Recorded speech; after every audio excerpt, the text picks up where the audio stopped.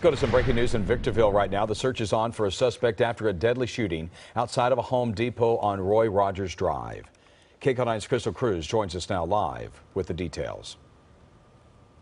Hi, Jeff. Desert Sky Plaza right here, roped off the entire uh, uh, shopping center, roped off right now. Behind me is this very busy Home Depot where the shooting happened in the parking lot. Investigators out here right now taking photos, collecting evidence. A crime scene unit is also out here. Now, here's some video from earlier. Uh, many shoppers' cars are still actually left in the parking lot tonight because of the shooting. Now, according to investigators, a man was shot, taken to the hospital, and died.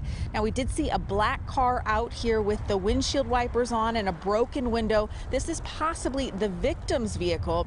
Now, deputies won't say what led up to this shooting. The suspect still on the loose tonight, but no information has been released about who deputies could be looking for back out here live. This is a huge plaza that's roped off. There's a Starbucks, there's some other restaurants, a Farmer's Boys behind me, and the Home Depot. So I know Deputies and officers will be looking for some surveillance video to see if they can find anything that can help them with their investigation. Live in Victorville tonight, I'm Crystal Cruz. Back to you guys in the studio. Okay, Crystal, thank you.